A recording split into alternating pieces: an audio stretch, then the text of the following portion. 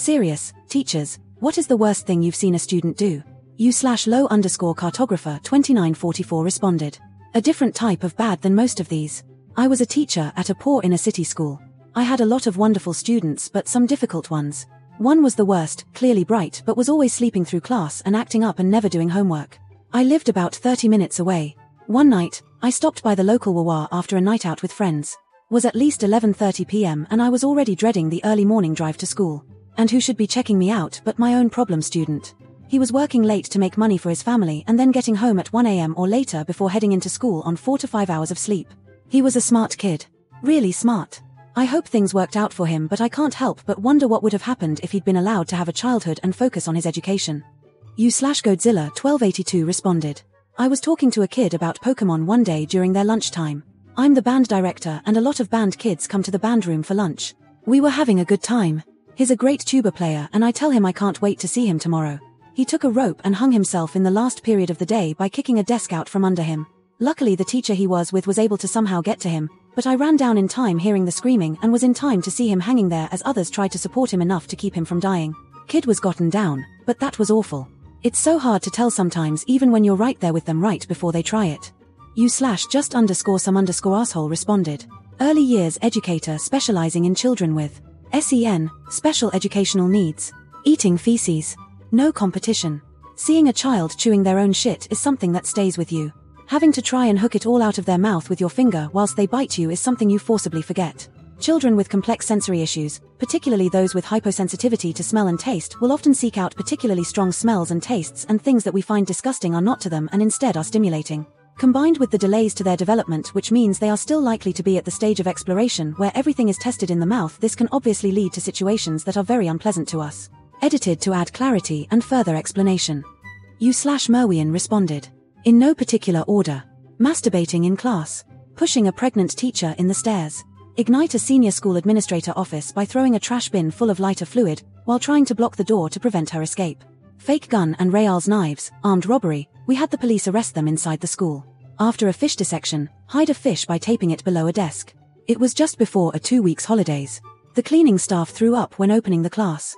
Throwing a big firework on a other student sitting in the toilet prostitution and drugs dealing in the school bathroom. Yup, glad that I took a break from education. Not sure about grammar sorry, French biology teacher, la sécurité de l'emploi as they say here. Yeah tell me about it. You slash urban cowgirl 42 responded. I have a list. 1. The kid who would mutilate herself if you told her she couldn't leave the room. Now you had to let her get out for first aid. Kid had major issues and was in foster care.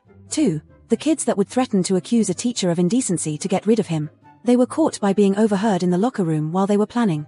3. The first grader so violent he left permanent scars on staff, and the SPED department refused to change his educational setting. He punched me for tying his shoes wrong. 4. The POS that raped a blind girl while a substitute sat in an office not doing anything. 5. The freshman that put a senior through a glass window and broke his nose because the senior wouldn't stop bouncing a ball off of the back of the freshman's head. You slash musical nerd 24601 responded. My favorite teacher is high school was a very kind and lenient man. Do your work, be respectful, and follow the major school rules and you and him would be cool. The one thing that would seem minor, but that he was very strict about was taking any medication in any way shape or form in his classroom. One day, I needed to take some Advil for cramps and asked to take it. He said I needed to go to the nurse for permission. I ended up asking him why he's so strict on it. It turns out, he had a student pass out in class one day at his former school. He tried to wake her up and called the nurse, but she wouldn't wake up. They called 911 and by the time they got there, she had died of an ODD on narcotics she's took in the bathroom that she had hidden in a Tylenol bottle. I don't know how he went back to teaching after that. You slash single rider responded. Probably not the worst in this thread by a long shot, but one that made me despair for their intelligence. Was teaching at a college and at break, a lad, 18, so technically an adult, was regaling the other kids with the story of the girl at school, when they were 14, who sucked off a dog. Of course none of them believed him, so he then proceeded to prove it by showing the video that had done the rounds at the time, which he still had on his phone. Seemingly that shit was legit. He then asked me if I wanted to see, I declined, and then asked him what he thought would happen if he, an adult, got caught with a video on his phone of an underage girl performing a sex act on a dog. He said, oh, I never thought of it like that. I suggested that maybe he should and what did he think he should do about it? Fortunately he had enough intelligence to delete it, but it had never occurred to him. You slash Android 15 responded. Saw a very sweet 16 year old girl I taught for five years being strangled by her boyfriend in the hallway at school. I was fuming and he got very aggressive with me yelling in my face that it was just a joke and I should chill. As a woman, I also felt really intimidated by this teenage boy. I passed it on to the safeguarding team and I'm not sure how they dealt with it, but I know the girl defended him. He got expelled for something else a few weeks later and she told me that they broke up when he was gone, but I still worry about what kinds of relationships she's going to have in the future if she thought his behavior was acceptable. She deserves so much better. You slash, deleted, responded. Rape. We had a transfer student in a behavior exchange. Got told he was just a bit rebellious with a mum who liked threatening to sue. Fine. Didn't get all his paperwork, but we needed read of our own baddie, so he was accepted against protests. We had him three months before girls began complaining he was groping and molesting them. He was 13. Finally got his paperwork and learned his real reasons for exclusion from his last school was SA.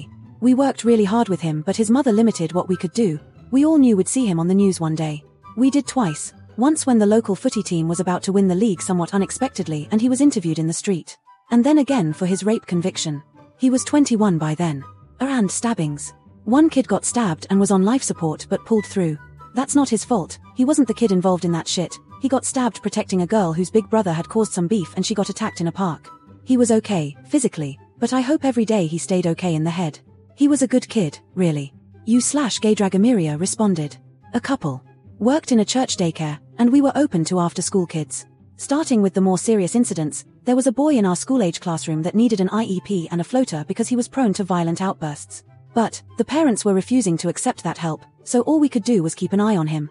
Usually that was impossible because our school age teacher was by herself, unless our other classrooms were at ratio, and then I could help her. One of these times I was there, this boy grabbed a pencil and shoved it into another girl's eye. When asked why he did that, he replied that he just felt like it. Another incident with this boy which caused one of my co-workers to quit teaching was when he football tackled a preschooler, he was big and in fourth grade, and started to beat the shit out of him, causing the teacher to run and basically use physical restraint to keep him away from the kid until parents got there. He was expelled after this. Why he wasn't removed after the first? Well, LA guess money, because this daycare was on its last legs and was closing in four months' time. On a lighter note, preschool during nap time got up and began sleepwalking. Freaked me out by myself in a dark quiet room until I figured out that's what he was doing. You slash Junjun underscore pon responded. Didn't see them do it, but it was such a catastrophe that I heard about it for weeks. The countryside Japanese junior high school I used to work at had one really rough year. When the third years were first and second, they were angels. As third years, they were absolute demons. Four male students in particular were stereotypical delinquents. They often just walked out of class and wandered the school, smoked out behind the building, and stole broke a lot of things. It was so bad they had to schedule staff who weren't in class to walk the halls to catch them before they did anything. Well, while the second years were out in the gymnasium for PE, one of the third year delinquents escaped and went up to their classroom which had all their uniforms and gear laid out on their desks. He pulled the pin on the room's fire extinguisher and sprayed their entire classroom down in pink foam. Everything was ruined. You slash Blightcutter one responded. Worst. Almost bizarre. Worst was, during a high stakes exam I was proctoring at a charter school, in dead silence a student casually walked up to the desk, casually grabbed a pair of scissors and stabbed a girl sitting closer to the desk. Bizarre happened a few years back. Last block of the day and the kids are coming from gym class. A particular student looked sweaty like he just got done playing a seriously intense basketball game. Everyone sat down and I went over the daily norms and suddenly this kid rips his shirt off and starts dancing and kissing everyone in the class. Then he suddenly passed out and before security could aid me the paramedics were there. Turns out he was on PCP. You slash sinfully sinless responded. 1. Had two girls fighting. It was a no holds back, they wanted each other dead fight. One girl got a box braid ripped out of her skin, like a chunk of her skin was ripped the fuck out. And the braid scalp was on the ground. Both girls were picked up to be separated by deans. One girl started attacking the dean and ripped the dean's earring straight out. Blood fucking everywhere. Of course the student body surrounding the fight was laughing and filming like they weren't watching the most fucked up thing ever that was probably the most disturbing part. 2. I had a student go to the bathroom, he took a while, came back and another student went. The second student came back and complained there was blood everywhere. Odd, both were boys, not girls on their period or something. I mulled over it while class resumed. I start noticing the first student acting odd, he's looking around, looking nervous. In one of his nervous fidgets he messes with the long sleeve of his sweatshirt and I see that wrap bandage around his wrists and soaked blood.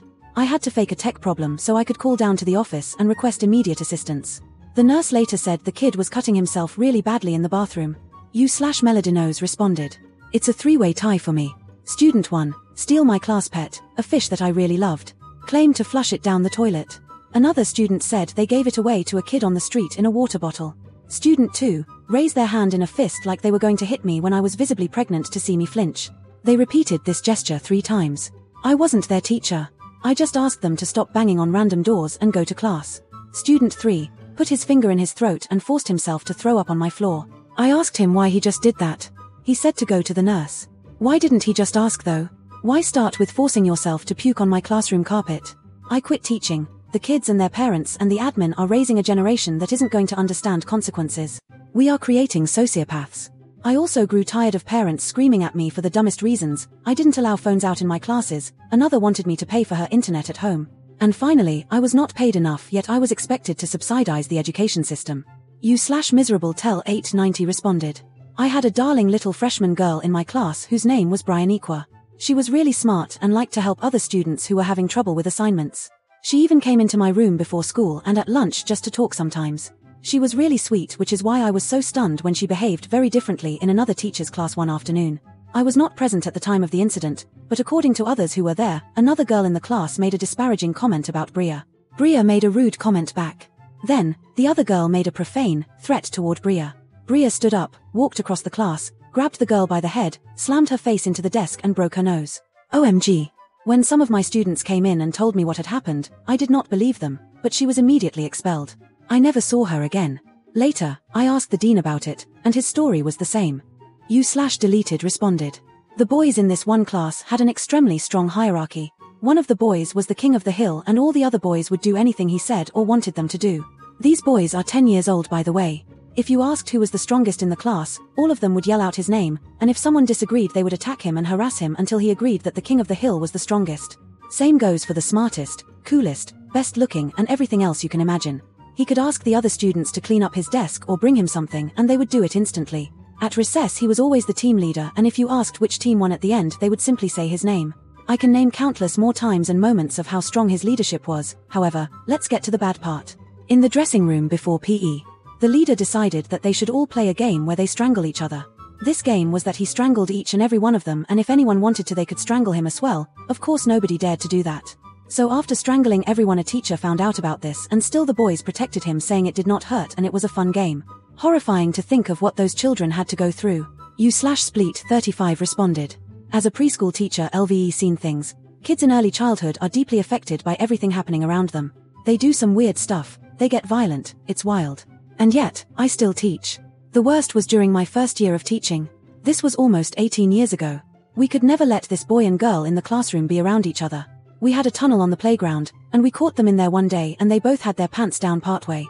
Here's what happened after we interviewed each child separately. The girl told the boy to go in the tunnel with her, then told him to take off his clothes. The boy was scared of her too, and really wanted us to know what had happened. The girl's family was investigated. Nothing came of the investigation. On general, this girl was sneaky, and she'd target several kids in the class, like telling them to eat sand or jump off furniture. Looking back on it, as much as I know it's believed kids that age don't have malicious intent, I think she was trying to hurt those kids. I don't think children know what pain feels like for other people, but I don't think they never try to do something to someone else. You slash it's Gretchen responded. I had a third grader trip over a kid who was sitting on the floor. That kid's fight or fight reflex was triggered. He attacked the kid was choking him with one hand and trying to take out his eyeball with his thumb with the other hand. I wrapped my arms around the attacker's waist and pulled him away. He lost his grip, but then managed to grab the end of his shirt, so he hand over hand pulled him back to go for more. The other kid did get away. I'm standing in the middle of my music classroom with 48 third graders and my two first grade daughters, holding this kid who starts attacking me instead. Reaches around and claws up my face. Stomps my right foot until he breaks it. Everyone is just staring, shocked. I make eye contact with a student and directly order them to go get the coach. This breaks the freeze everyone is in and the kid attacking finally stops as she runs next door to get coach. This was the last day of school that year. I had that kid every day in my class for two more years. I had healed over the summer, so I don't think he ever had any idea how badly he had hurt me. The kid he attacked transferred schools and I've never seen him again. Always wondered if he was okay. I attended the attacker's graduation last year. He seems to be doing well. You slash deleted responded. We had a girl at camp one week who had some sort of mental emotional issue. I have no idea what it was, you're only typically told the specifics for kids in your cabin, which you are directly responsible for, but you could just tell she was off. Very sweet kid, maybe 6 to 7 years old, but had a lot of trouble with impulse control. Well, one night, my campers and I were in our cabin. It's past lights out, so everyone's in their bunks, asleep. I'm just dozing off when I hear the door open, which I immediately register as odd, because I'm pretty sure I didn't hear anyone leave to go to the washroom, meaning all my kids should be accounted for. I roll over, look at the door, and discover this girl standing in the doorway without a stitch of clothing on her. Given that she's walking into a boy's cabin, this is obviously a very bad thing. I had to quickly leap out of bed, grab her, and get her outside, which led to me carrying her back to her cabin, because she didn't think to put on shoes and had cut up her feet walking to my cabin. It led to a whole to-do, because camp policy is to never have an adult alone with a child, and, for obvious reasons, that policy is doubly applicable when the child in question is naked, so I had to fill out a small novel's worth of paperwork in the aftermath to cover my arses from a liability standpoint. We also had a counselor's meeting about that discussing strategies to keep her in her cabin at night and what to do if she went wandering again. You slash deleted responded. Taught a group with severe emotional and behavioral disorders for while. Had a particular kid with oppositional defiance disorder, he'd later be diagnosed with conduct disorder, that lied to get his foster mom arrested. He was constantly lying, always had some kind of investigation going on me, fosters, counselors, other teachers. He stupidly recorded himself jumping off a second story ledge, somehow he broke his wrist not ankle. Well he came to school, it was quickly noticed because he was complaining obviously. He said his foster mom broke his wrist that morning because she's evil. Of course he goes to the nurse, front office deals with EMS, and start my call to CPS. I don't investigate I just report. Because EMS had to be called the foster mother was informed. Apparently she was going through his phone at the same moment, and was about to call the school, because she saw the video he took and was rightfully worried. She was pissed when CPS came to investigate, but it was closed quickly because she had proof the kid did it to himself. This kid tried to stab with me scissors, successfully stabbed my hand with a pencil, tried to choke a lost first grader in the bathroom, among so many other incidences. I remember foster mom sobbing telling me about how he tried to sabotage her medication, picked the lock on the kitchen knife box and repeatedly stabbed their locked bedroom door. You slash deleted responded. I watched a child bite a chunk out of another student's arm as we were trying desperately to separate them. He then went after the other children in the room because he didn't like that they were looking at him. We have a rule to never physically restrain a child but after watching this nightmare unfold, one of the assistant teachers held him back from the other kids by wrapping his arms around the kid's upper arms and sitting with him until support, the parents, or the police showed up. We evacuated the rest of the kids out of the room and into another classroom, trying to keep them calm and out of harm's way. They were obviously extremely scared. After not too long we heard the situation was being dealt with and to go back to our classroom. The kid had scratched up the tar's arms like a feral animal, literally clawing, kicking, and screaming while covered in another child's arm blood also managed to pluck out a good amount of the tar's arm hair.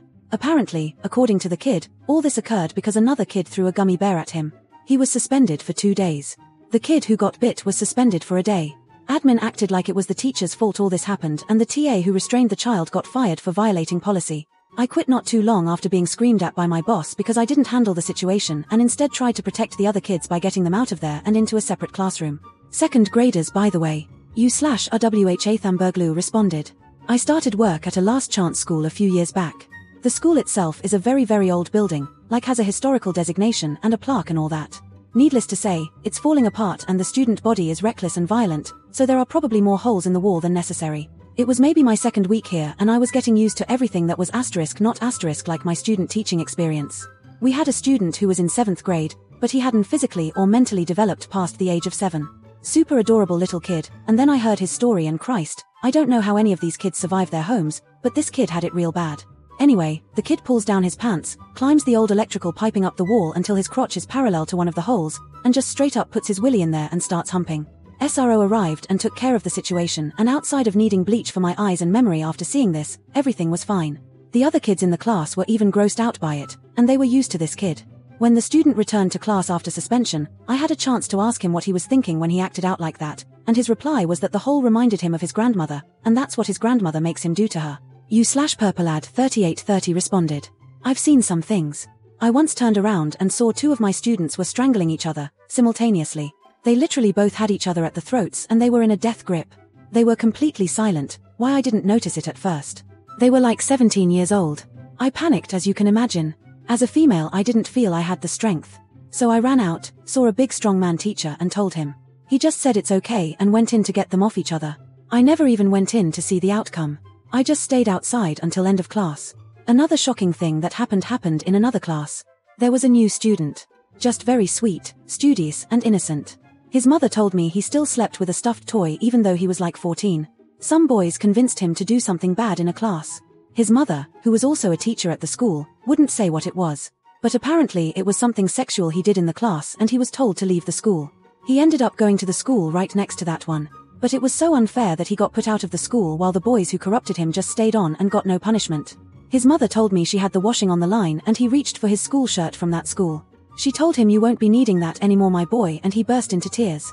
Thank you so much for watching all the way to the end. Leave your own stories down below I would love to read them. If you would like to see more videos like this please like and subscribe it helps me out greatly.